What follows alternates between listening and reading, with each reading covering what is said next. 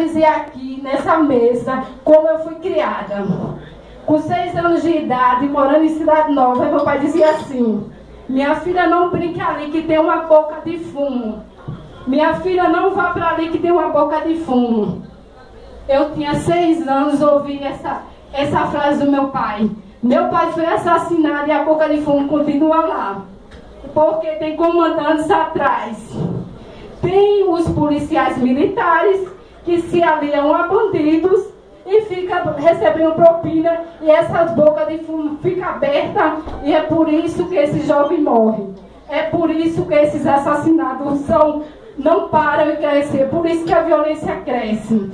67 anos, saiu de casa para trabalhar.